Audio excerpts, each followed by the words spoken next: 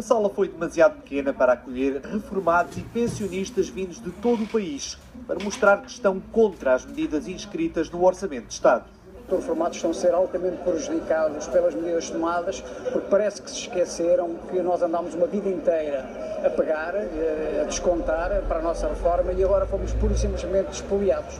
Descontei 44 anos e agora, sem me perguntarem nada, eu sinto-me mensalmente, diariamente, completamente roubada nos meus direitos.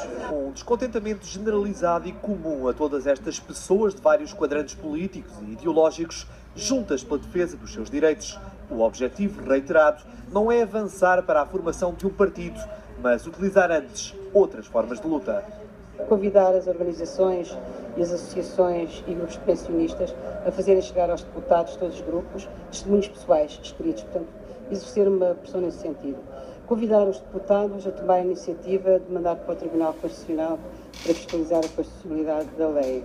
Desta primeira reunião em Coimbra, do pró-movimento de pensionistas e reformados, resulta desde logo uma prioridade avançar rapidamente com uma petição pública para dar entrada na Assembleia da República a tempo da votação do Orçamento de Estado.